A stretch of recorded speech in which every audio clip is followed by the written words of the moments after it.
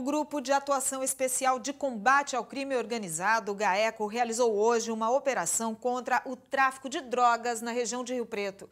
Dezenas de mandados de busca e prisão foram cumpridos. Entre os presos, comandantes regionais da facção criminosa paulista, que age dentro e fora dos presídios. Eles eram alvos do Grupo de Atuação Especial de Combate ao Crime Organizado, o GAECO, do Ministério Público de Rio Preto. Os promotores investigam e monitoram continuamente o grupo criminoso. Eles atuam de forma regionalizada, né?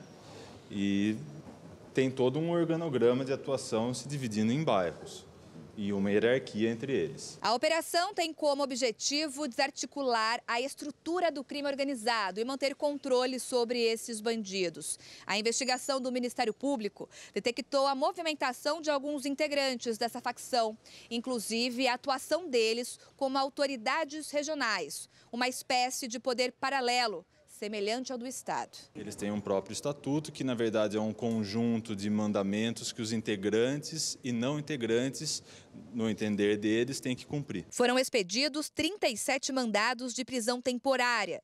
20 deles contra criminosos que já estavam presos em várias unidades penitenciárias do estado. Também foram cumpridos mandados de busca e apreensão e foram encontradas munições e drogas. A Operação Biqueira Temporal teve apoio do Batalhão de Ações Especiais de Polícia, o BAEP.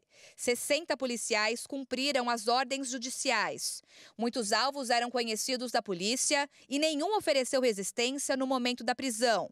Os presos foram ouvidos e confessaram envolvimento com o crime organizado. São líderes aí desses, dessas facções que são extraídas do meio da sociedade. Isso colabora em muito aqui para a nossa região e para a paz social da nossa região.